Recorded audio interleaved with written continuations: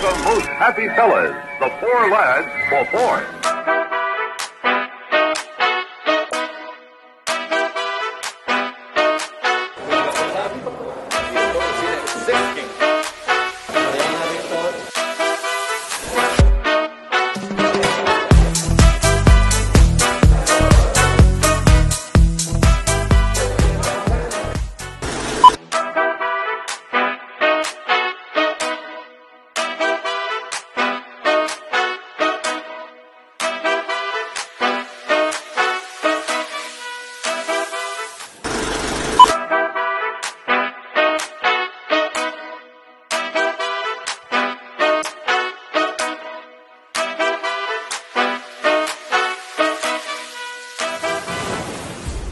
Un día en el paraíso no es suficiente.